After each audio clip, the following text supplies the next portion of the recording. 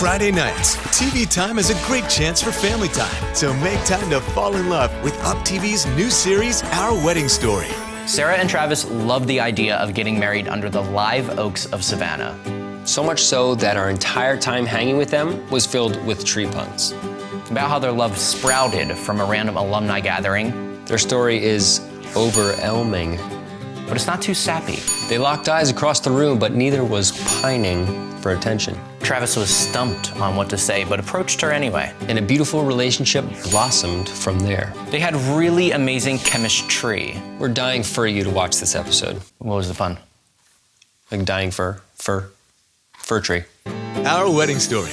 Watch together on Up TV. Set your DVR.